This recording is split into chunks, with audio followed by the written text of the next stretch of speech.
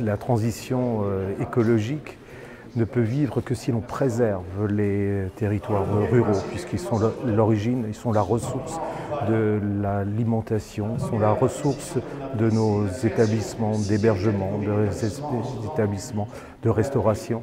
Et sans préserver la qualité de la ressource, de cette ressource, on ne peut pas faire de la qualité.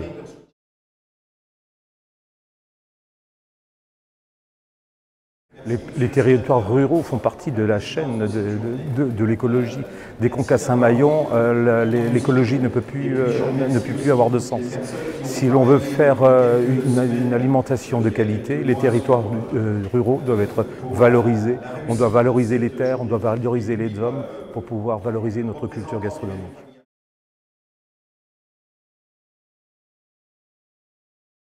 Oui, ça peut être euh, un, moteur pour les énergies renouvelables, puisque euh, on, parle beaucoup de, problématiques de déchets.